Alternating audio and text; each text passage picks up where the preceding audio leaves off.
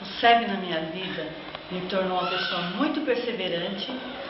É, eu consegui é, descobrir a coragem que existe dentro de mim, através dos, dos estudos, dos livros.